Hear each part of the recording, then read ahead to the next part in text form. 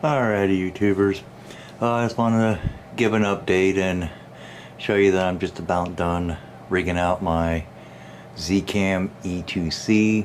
I just did a battery upgrade on it to the NPF and this here is the adapter that I got and then I got the Canon dummy battery um, I don't think it's made by the same company. Now this one here and the Canon dummy battery was a little more expensive than what you could uh, find elsewhere, but it had the best review as far as plug and play and you didn't have to modify anything or anything like that. But here's what it looks like. If I can get up on here. Eh, you can't really see it too but you got two regular USB ports here you charge like your cell phones or whatever. And I don't think you're going to be able to see it because of my long ass HDMI cables. But you got two ports back here. It looks like a micro USB-C and I can't see what that other one is. But, and the battery is a Tectar, if I'm pronouncing it right. Now this battery, unlike my other three that I got, has a little button up here you can push and they light up with your four bars. But what's neat about this here, it's got it built into the adapter. Now it said it's really low battery drain, but I haven't actually did a test yet. I'm planning on this weekend if I don't have to work to do a test to see how long that one battery will last. The monitor, since this has only got one plug out, I gotta run the battery for hit. But uh, this is the monitor, my newer monitor. It's a 7 inch. I was going to go with 5 inch. I put my 5 inch monitor on it. And I gotta say, I kind of actually like the 7 inch a little better for this uh, camera rig. Now on my Blackmagic Pocket Cinema camera 4K all rigged out, I like the 5 inch one better. And then the bracket don't take up much room. Oh, I did have to order one of these, uh, I don't know, hooks onto the bottom of your 15 millimeter rails to mount that.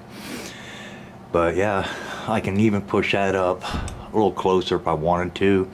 But my I only got a few more things left to get for this.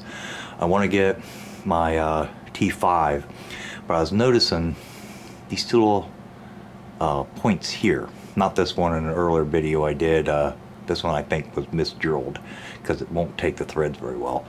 These two here look to be about the same space as what's on my uh, Magic Rig and this is a small rig cage that holds my Samsung T5 to the cage. So I'm going to take test that this weekend, take that off my uh, mounting bracket off my Blackmagic Pocket Cinema Camera 4K and see if that mounts up on that. If it does, then I'm going to order that mount and then I'll be able to just slide my T5 right in there and won't have to go with that universal squeezy clamp, whatever the heck that thing is. And we're good to go. But yeah, I don't got my antenna on it because I'm not broadcasting. You really don't need the antenna on it if you got your phone or tablet or whatever really close to you or fairly close to you, I'd say. I think I was able to get like 15 feet from it and it was still broadcasting the signal.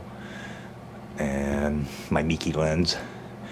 And this is this here is all small rig. I couldn't find a magic rig, which is the copy of small rig for the E2C Zcam. So I just went ahead and got the original uh, small rig. But yeah, that's pretty much it guys. I just wanted to show you my battery mod I did to it. This one's straight plug and play. You don't have to modify anything or splice and solder wires. It just snap the dummy battery in, plug it in there, put your battery in, you're done. Pretty easy. Uh, like I said, it was a little more expensive than some of the other ones, but you know, I get what you pay for. So I went with the more expensive route and hopefully I will have no problems out of it. And it, like I said, plugged right in, worked first time, nothing to modify. All right, thanks.